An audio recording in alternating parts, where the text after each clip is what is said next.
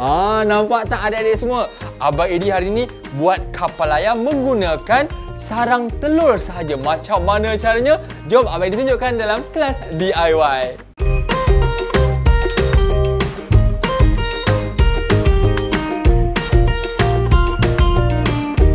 Berikut adalah bahan-bahan yang kita perlukan.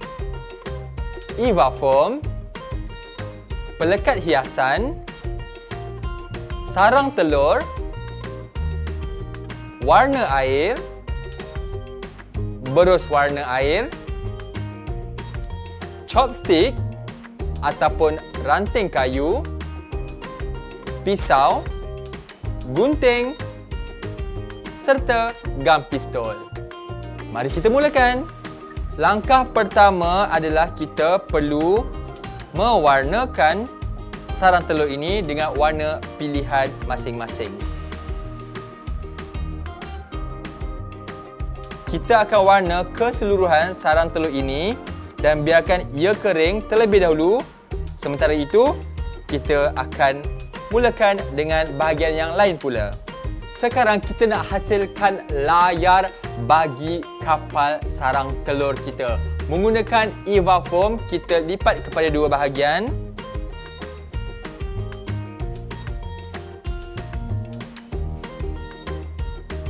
Dan potong. Hati-hati menggunakan objek yang tajam.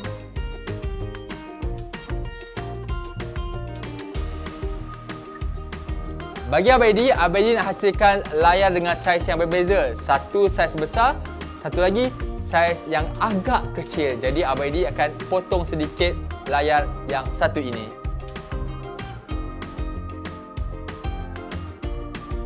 Sekarang waktunya kita hiaskan layar kita dengan pelekat hiasan yang kita ada. Kalau tak ada, kita juga boleh lukis menggunakan pen marker ikut kreativiti masing-masing, okey?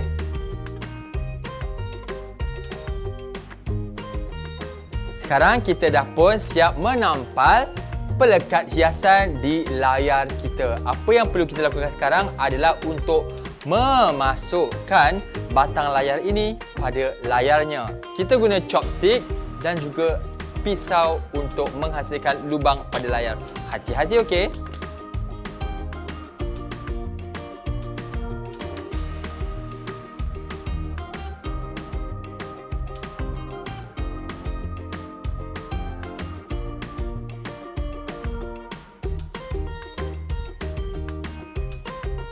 Layar pertama dah pun siap.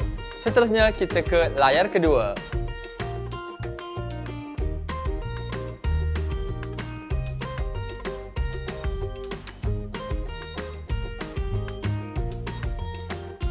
Dah pun siap kedua-dua layar kapal kita. Apa lagi? Mari kita cantumkan layar ini dengan bahagian badan kapal yang kita hasilkan dari sarang telur tadi. Ini dia sarang telur yang kita biarkan kering setelah kita warnakan dengan menggunakan warna air. Sekarang ini, dengan menggunakan pisau dan berhati-hati, kita tebuk lubang untuk kita pacakkan layar ini.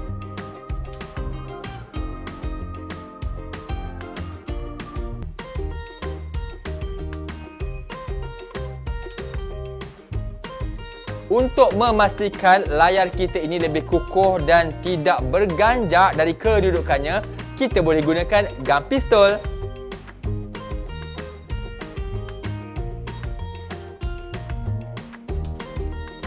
Dan sekarang dah pun siap kapal layar yang diperbuat daripada sarang telur kepada adik-adik semua boleh cuba hiaskan lagi kapal layar ini mengikut kreativiti masing-masing. InsyaAllah kita jumpa lagi di kelas DIY yang akan datang daripada Abang Edi. Assalamualaikum semua.